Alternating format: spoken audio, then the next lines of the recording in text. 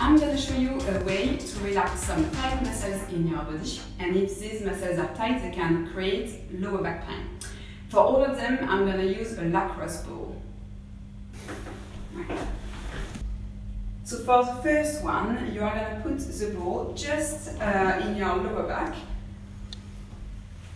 just on the side of your spine. Keep your knee bent and you are on the floor for this one or on a yoga mat, so a hard surface and then you go one knee to the side and you go back and you repeat that.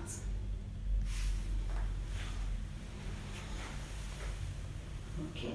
Then you can move the ball in different areas around the lower back, still close to the spine, and you repeat. Right and then you can do the other side. You will spend two minutes per side. Okay, for the second one, I'm going to show you how to relax tight glutes. So you place the ball again, right where the muscle here is, so under the buttock, and you will move your leg to the side, holding yourself comfortably, leaning a little bit backward with your back, without hurting your back, and you move the leg. And again, you spend two minutes per muscles, but you can move the ball in different areas of the glutes.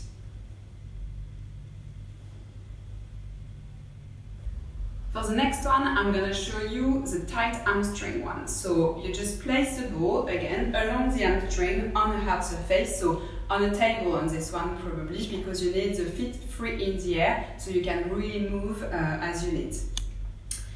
You will have the ball underneath and lift your leg up to stretch the hamstring.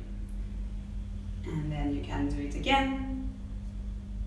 And again, you can move the ball in different areas where it's tight, so you can feel how it goes for you. And you keep lifting, like so. Again, with this one, you spend two minutes per muscle, so once uh, right, one left, and you don't do more than two minutes per muscle.